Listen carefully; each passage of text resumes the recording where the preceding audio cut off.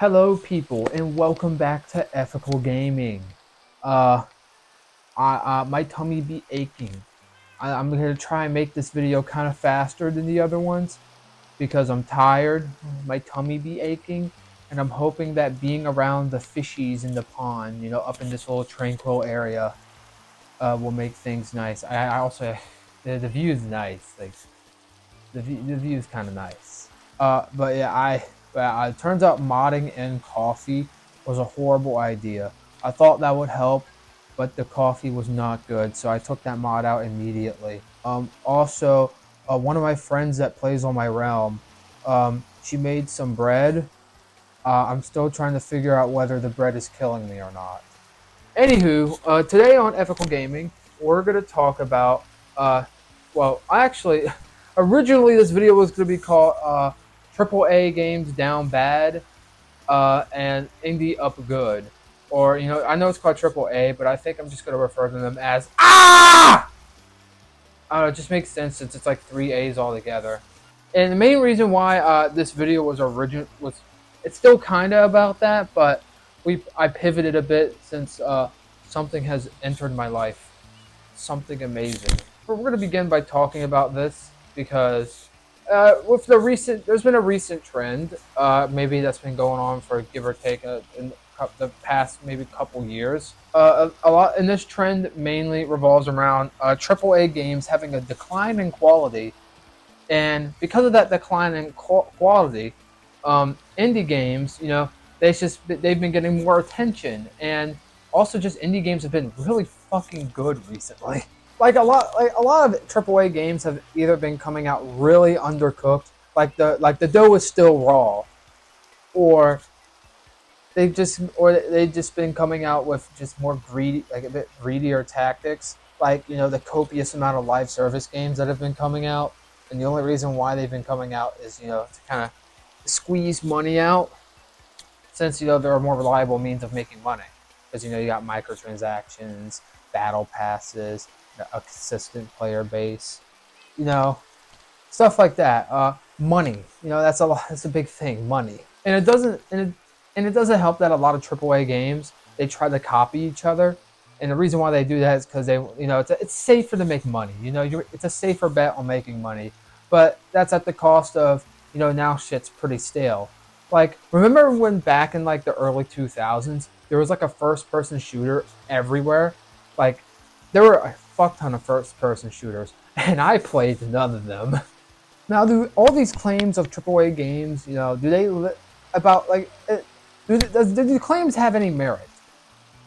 Well, let, let me just go off the top of my head with games I can think. Uh, Let's see, we got a lot of the Pokemon series, Pokemon Scarlet and Violet. Oh, there was also Shield, Cyberpunk 2077. Uh, they kind of Diamond, it, but you know, it still came out. Uh, no Man's Sky, got uh, live service games as well. I mean, that was fun. Yeah, that one Marvel game. You have Suicide Squad. That was that was a big flop. Was that count as triple A though? Starfield was another flop. Yes. What else? Stop walking around this world. To just get it straight to the point, because this list will go on forever. Uh, it's been it's been pretty consistent.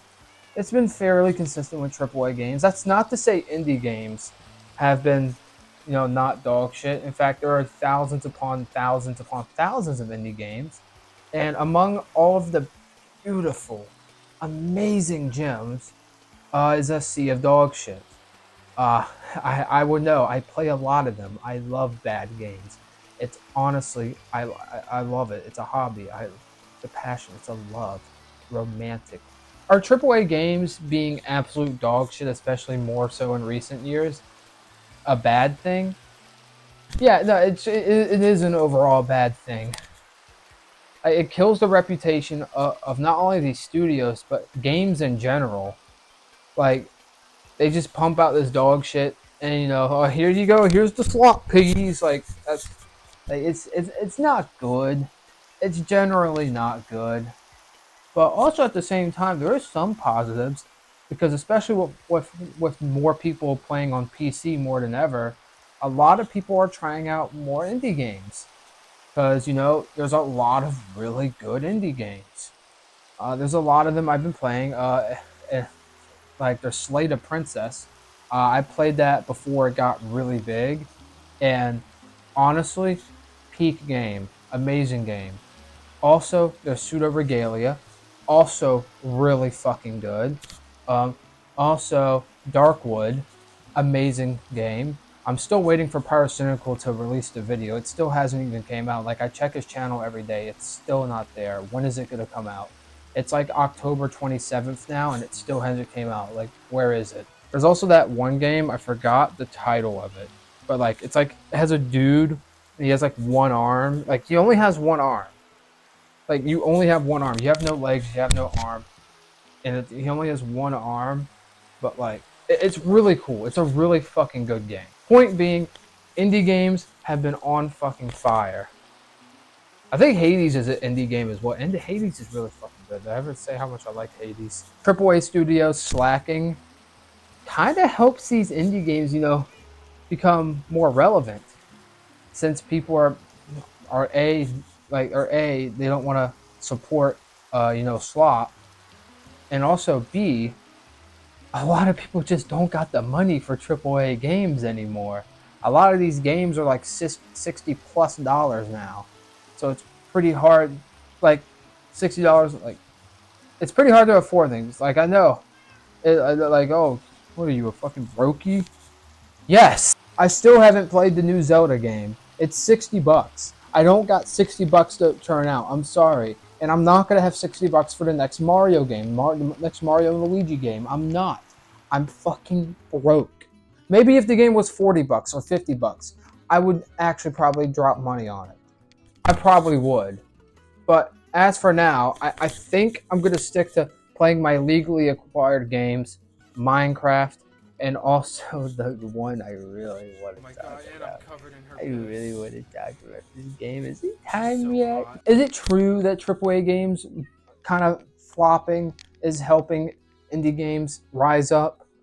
Is that even true? Is it maybe because of social media? Because social media usage has become bigger, and now being that more people have PC games, they also have access to social media and are able to share these games more.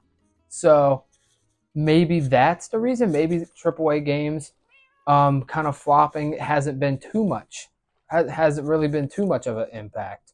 But then again, there's been so much slop that it's that it's directing the attention to somewhere else. Well, more importantly, not just slop, but overpriced games like Persona 3, for example. I'm not dropping 70 bucks for a game. I'm sorry. No matter how good the game is, I'm not dropping 60 bucks. Don't get me fucking started on Call of Duty Modern Warfare 6. I've seen the horrors. I've heard the game was pretty good, but apparently the game is really fucking pricey, and also I don't have 300 gigs casually. I, I need I need at least 100 of those gigs for BioLizard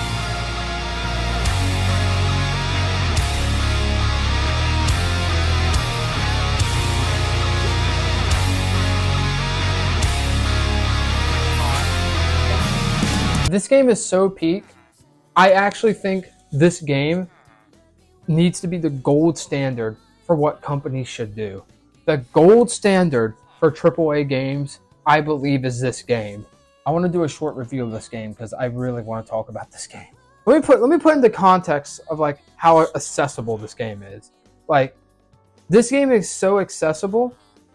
My friend, the the one that tried to poison me with sourdough bread, uh, she was able to pick up this game and just just pick it up immediately and have a blast. Mind you, she's never played a Sonic game in her life. In fact, I'm just gonna flash some footage on screen from when I was streaming it uh, on on on uh, you know link in the description, link in the description. Uh, and, and like she was she was blasting through it. It's the first time picking up a Sonic Boost formula game, a Sonic game ever, period. She has never interacted with the Sonic franchise. Not only is she able to play it pretty well, I mean, she's, she's a gamer. She's a better gamer than me most of the time, honestly. It's pretty fucking depressing. But she, she's, she's, she's having a blast doing it. She wants to play more as well. I'm going to lose my laptop right soon. The point being, this game is so fucking fun. even if you're not a Sonic fan, right? Just like my friend, if you want to get into the series, if you want to try a boost formula or a modern Sonic or just a new Sonic game, play it. Pick it up. You will enjoy it. It's two games as one as well. You have Sonic Generations and you have Shadow Generations. And if you're worried about about sinking a bunch of time into it, don't worry. Both of these are very short. They're short to beat, but if you really love the game, you have a lot to sink your teeth into. Yeah, there's so there is a lot of content in both of these, especially in Shadow Generations. Oh my god! And by the way, Shadow Generations is the one we're focusing on. Sonic Generations, which is the first half of this game, is actually a remaster-ish of of Sonic Generations from I think it came out like about like 13 years ago. And by the way, that game is still a masterpiece. Amazing. The gameplay is amazing. Like playing as modern Sonic feels so good. Playing as classic Sonic is also fun. Like it's just it's all around platforming fun. If you miss Sonic and you also want to get into a bit of that new Sonic, amazing game to get into. Of course, it's it, it's not the story's not going to be insane, but you're not playing this game for the story. You're playing it for the gameplay and Sonic. You're playing for Sonic, the blue blur. Also, uh, this goes without saying, but the music is amazing. The music is peak in Sonic gener- Generations and in Shadow Generations. And let's just transition to Shadow Generations, please. About fucking time. Shadow Generations is the is the what is what my friend was playing, and I'm just gonna get into like my playtime because uh, at the point of me recording it, I have beaten it, and I'm on my way to 100% again. I am already over halfway there. I said I was gonna stream myself 100%ing it, uh, that was a bold-faced lie. I couldn't fucking wait. Uh, just a couple things I love about this game. No lives. This is this might be a minor thing for a lot of people, but for me, I hate lives in video games. I think all it does is hold back players from wanting to try and experiment. And I think for a lot of for pretty much all games, that is very important. Like even for a game like Dark Souls, where you know it's super fucking hard. I think dying, coming back, trying again. It's part of the fun, and I think, uh, and I think uh, Shadow Generations peak like the fact they got rid of lives. Just I was able to I retried levels over and over and over without feeling any guilt, and they took out lives in Sonic Generations as well. There's like because in the old Sonic Generations there were lives, but in the new one there aren't, and I can't stress how amazing that is because I can just experiment all I want and have fun. And, I, and if I die or, or it's like, oh shit, I really want a faster time, restart, boom, easy. And the thing with Shadow Generations, there are no load times when you retry. None. Like it, it's bad. Like we're finally in 2024. No fucking load times at all. And also for your frame rate geeks, um, like like like your frames per second geeks, um, yes, it runs at 120 frames per second on PC. On console, I believe it runs at 60, and on Switch, it runs at 30. But either way, 120 frames, I can't comprehend that anyway, so I actually don't give a fuck. I don't give a fuck either. What like like 60 is my max. I'm sorry. Once you go past 60, I don't care. 30 frames to me looks decent. 60 frames, I, I don't need anything more personally. I, I can't comprehend anything past 60 frames per second. Uh, per second. I got monkey brain. I can't. Uh, I'm also Gen Z, so I got the attention span of a goldfish, so I feel like that maybe plays a part. Like, I'm pretty sure the fish below me have a higher attention span than me. The cutscenes, dude. The cutscenes. Oh my god, the cutscenes. They're so beautiful. They're so fluid. The framing, the storyboarding, the everything, the writing, it's so fucking good.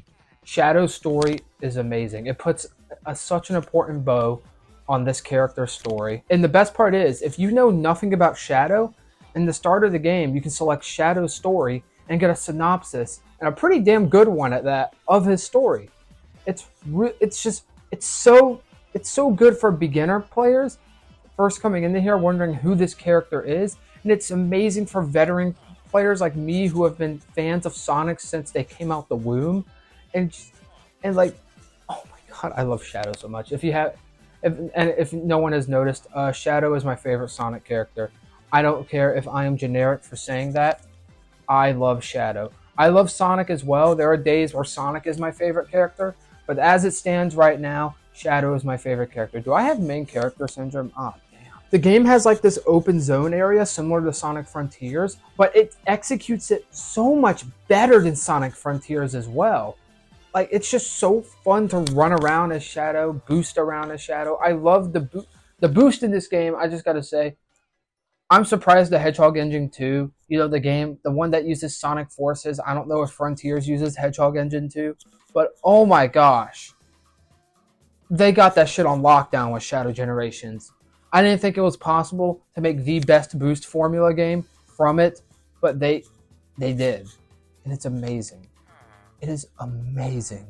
The open zone is so nice. Like you can just run around, have a good time just moving. You know a platformer is good when moving around.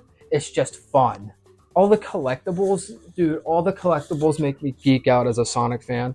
I'm still trying to get the last pages for Gerald's journal. And also for all you console motherfuckers, you lucky bastards. You lucky bastards. I got the digital deluxe edition just so I could play early. Also, I don't have a PS5, PS4, or Xbox type thing, whatever the hell, whatever Xbox is out right now. And I refuse to play it on the Nintendo Switch. So, I played it on PC more so because I was forced to. And then you guys got so lucky because you guys got Gerald's Journal. You have Gerald's Journal. You don't know, like, for those of y'all who aren't Sonic fans, oh my fucking god. I'm still looking for the last journal pages in the game. I don't know where they are. I want, I want to read his journal so badly.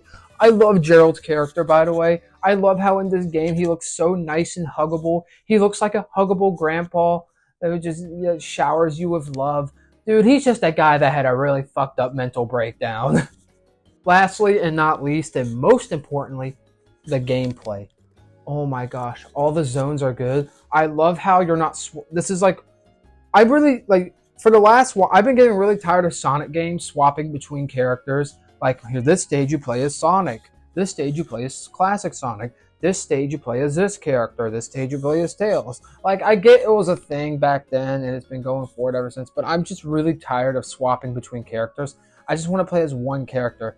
And Shadow, oh my god, every single stage has been amazing. Shadow has made me love the 2D stages. I used to moderately dread the 2D stages because honestly, I ever since the 3D area era, like I wasn't a big fan of the 2D stages. And this has come from somebody who loves Sonic CD. Sonic CD is one of my favorite Sonic games of all time. I love that game. And dude, I just dude, this game this might just be my favorite Sonic game. I know recency bias is strong, but oh my gosh. It's so fucking good. Like with all the abilities Shadow has, Shadow has Chaos Control, which lets him stop time, literally fucking stop time for five seconds, which helps you not only get a faster time when trying to get S rank, you know, get the fastest time, but also you can do it to like find hitting paths. Like you know, if you like in one of the stages, you can stop time as a bunch as as one of the Eggman robots are throwing rocks, and then by stopping time, you can now use the rocks as as a means to finding like homing attack on them as a means to find another path and then take that path to get to get one of the um the, one of the collectibles. Like oh my god it's so fucking good. It's even a faster route to it's so good. You can and this is not just like on that one stage. Every stage i swear to you has like some way of using chaos control in a way to not only make make your progress significantly faster, but also just help you find little routes. It's just you feel so good. You get in that flow state. And this game probably has the best flow state of any Sonic game. Like I think like a lot I feel I've heard a lot of people nitpick about Shadow's controls, how he can be he can feel a little slow at times. But I think this is one of the times where they finally did it correctly because not only does it feel like I can actually control Shadow, but also you just get in that flow state. Because I like I'm of the opinion that I think the boost formula has potential, but I think a lot of the boost games fall flat because how fast Sonic is. I think Sonic's speed is sometimes more of a detriment than something that helps, especially when it comes to getting newer players into things. But this game, it's perfect. It has the perfect balance of everything sugar, spice, and everything nice. Yeah, the gameplay is amazing. All the abilities Shadow gets is amazing. Uh, if you want to watch trailers on it, go for it. I, I actually don't want to spoil too much on it, even though they showed them all in trailers, because I think it'd be more fun if you just found out on your own. Still, though, amazing. This game is peak. If you haven't even touched a Sonic game before, I highly recommend getting it. And another thing about this game, it's not 60 bucks. It's 50. So, you know, have at it, y'all. Have at it. Like, like I know 10 bucks isn't the biggest difference, but it's it's 10 bucks cheaper than the entire fucking market. And uh, for a lot of people like me, 10 bucks is a world of a difference. So, trust me. This please if you if you haven't gave Sonic a shot, give it a shot. Shadow Generations and even Sonic Generations are both amazing games. Now, I said earlier that this, that I think this game is a really good example for AAA companies and you know AAA game studios. Just take notes. Take notes from this game, and I'm just gonna say them all out right here. What, what notes to take from Sonic X Shadow Generations? Release a game that is fully polished and just when when it, when it comes out the oven, it's ready. No need to put it back in the oven several times with tiny little patches and updates because it's gonna it's still it's still gonna be meh. It's still gonna be bleh. No, put it in the oven, fully cook that shit, take it out. As in, release the game done, polished, clean, play tested. Make sure the game is good and playable when it's on release. That is extremely important. When this game came out, typically with a lot of Sonic games, they suck. They, they, they honestly suck.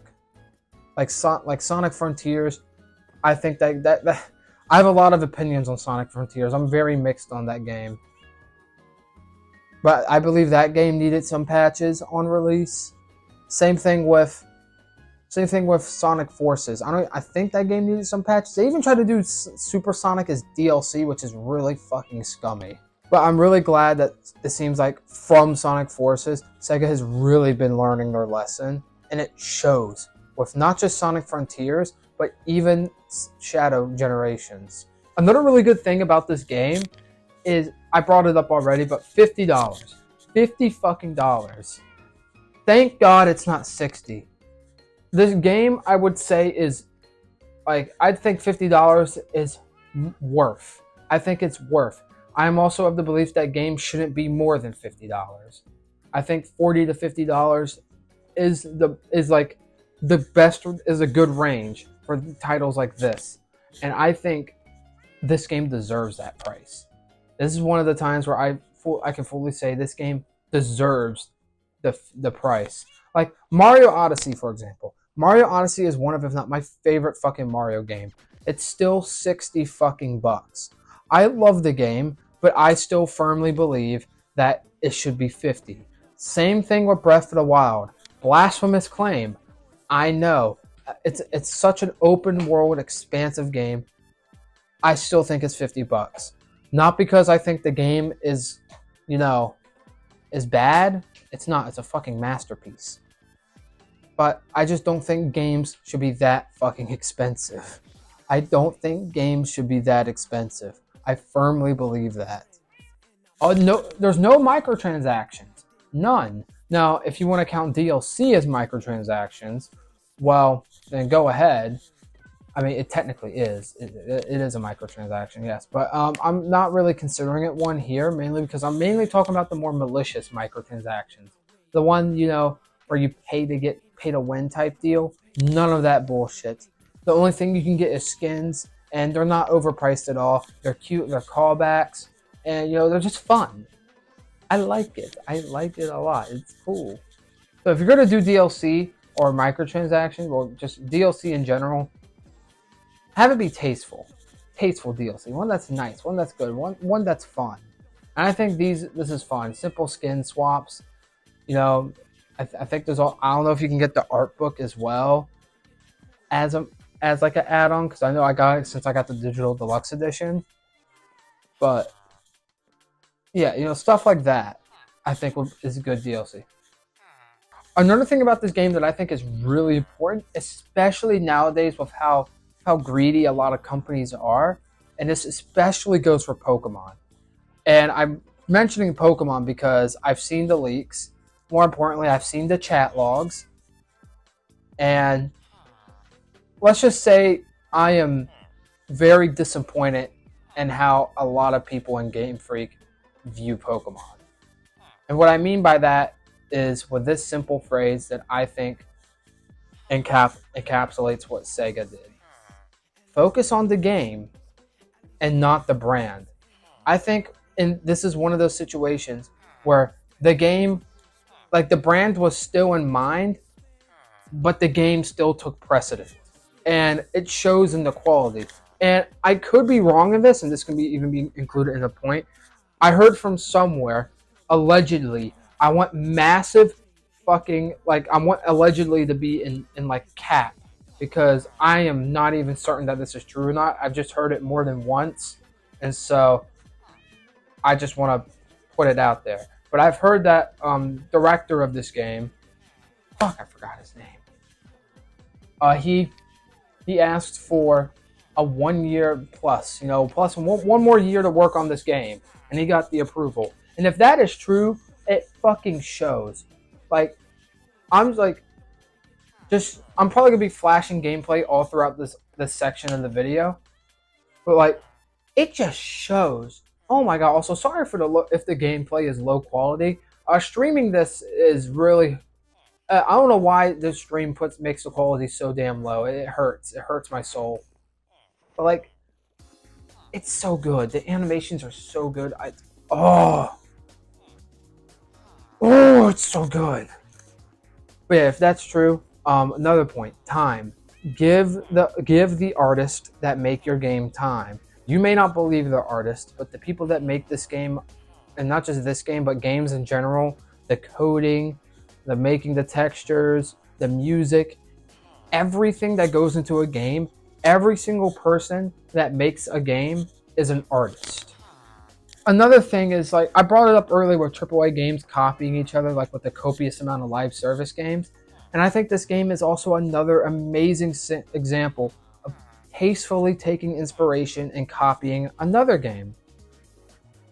Super Mario 3D World and Bowser's Fury. If you guys don't remember, uh, Nintendo released Super Mario 3D World. They re-released that on the Switch, and alongside it put Bowser's Fury, which just like Shadow Generations, is pretty much a whole extra mini game where you have where you run around and do shit. It's just a whole little extra mini game. That's all. That's you. That's kind of running on a similar gameplay as the main game. And both of these games, both both Bowser's Fury and Shadow's Generations, like there's a lot of things that are similar with them. Like for instance, you have the Doom, like you have you have Doom, which is in the which, which is in the center of the map. You have Bowser that is in the center of the map.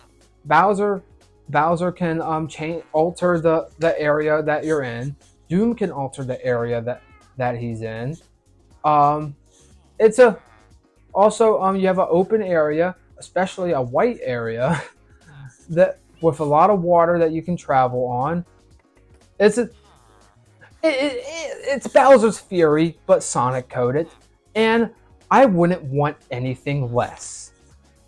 This game did an amazing job at doing what what Bowser's Fury did, and honestly, I'm if I'm heavily considering doing a comparison video after I 100% Shadow Generations because I've 100% at Bowser Fury. I loved it a fuck ton. I would play an entire fully length Mario game. Actually, that is pretty much fully length, and I love it for that. You know, that's another point I'm going to get into. Uh, I love how this game doesn't waste my time. There is nothing in this game that feels like it's wasting my time. Everything feels like it's there purposefully. Even the side content, I don't feel like my time's being wasted. And this game isn't even terribly long. It's not long at all. You can beat this game in like three to four hours, or two hours even. Actually, you can beat this even even less time. Like, it's a short game. However, it's one of those games where like you, it can be as long as you want. But the point I'm trying to make is like it doesn't waste your time, and I'm glad the game isn't doing that. I'm glad the game is just really fun. And those type of games have endless replayability, which is what I'm gonna do after I'm done recording this. probably not. I'm probably gonna go to bed. Yeah. Also, yeah. Back to the Bowser's Fury point. Let me know if you guys would like to see a Bowser's Fury and Shadow Generations comparison. Because if if this video series is at all successful, uh, I will 100% do a comparison video. And luckily, uh, the shackles will be off of me and I'll have more time to dedicate to it. And one last point. Uh, this is one that has to do with Sega in general. Be friendly with your consumers. Sega, like if you know Sega, and if you interacted with them in their in the commu- in the Sonic community in general, they are so nice to them. Like they are tapped in. They are fucking tapped in when it comes to the Sonic community. Like if you just scroll around on their Twitter or any socials, you just know they're tapped in and they're listening. Like more than ever, they are listening. And it just feels really good knowing that the the company that you're that you're that you know you're giving your money towards isn't soulless. Like yes, they're doing it to also make money, but at the same time, it remind I don't know. To me, it's also reminding me like, hey, these are people that work here. You know, I like being reminded that the that the company I'm giving my money to isn't just a, a company; it's a coalition of people working together to make products and trying to make money together, putting their heart and soul into shit. And that just feels really fucking good to me. I understand that you know they don't they're not thinking about me all the time. I know that. I know they're think I know a lot of the times they might be thinking there's a chance they're thinking about yo well we need that bag and i respect that i honestly very much respect that but also but there's still like you know they have us they have us in the mind and i like how they have us in their mind it just feels good like even with the fan games like if you anybody knows sega and fan games you know, they, they love to give them give fan games a kiss on, on the forehead. They they like they love to kiss them, you know, pat their head and you tell them you're doing really good, champ. In fact, we support you. Like Sega's the goat, bro. They're just the goat. They really are. So, one of the uh, nice things about having a low metabolism is that it delays the inevitable. Uh, so, as I'm slowly dying here, I would like to thank you all for watching Ethical uh, Gaming. Uh, this has been a very fun episode. And again, like I said, if you want a Bowser's Fury comparison to Shadow Generations, I would have a fuck ton of fun doing that. So, you know, tap in, subscribe, like. If you made it this far, comment.